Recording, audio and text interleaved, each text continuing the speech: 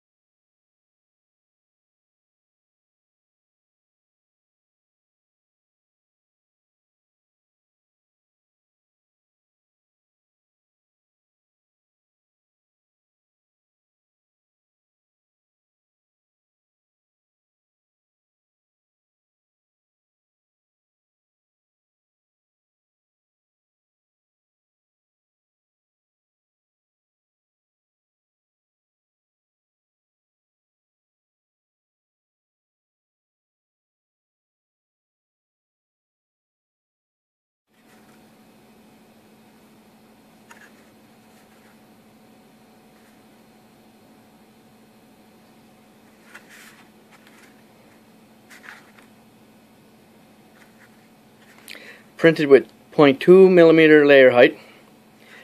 No supports. These three top pieces bridged beautifully with no support. Uh, when I got to these, I slowed down the print speed to 40%. And without anything under them, they printed. 15% infill.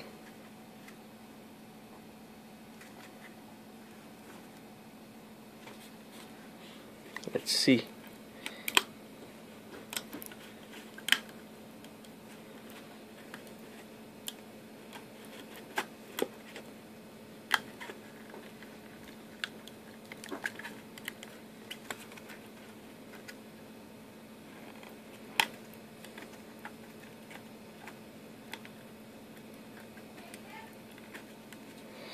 I might need two hands for this.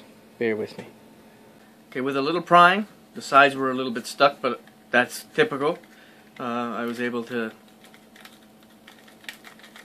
unstick the sides, and now here the little scissor lift works.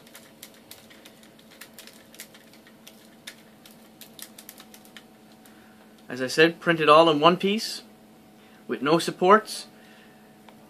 These bridged perfectly, going at 40% speed as the head came across. Didn't droop at all. It was printed. Let's close it back up.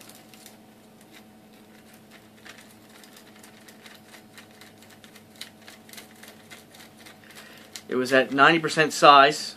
I reduced it a little bit. It was printed standing up like this. And again, I said no supports. Uh, all except for the base and these top three pieces here, I ran it at 120% speed. For the base and the top, I ran it at 40, just to ensure accuracy. It took seven hours to print this tiny little thing. But in the end, for a one-piece scissor lift that works right off the printer, it was worth it. Boo.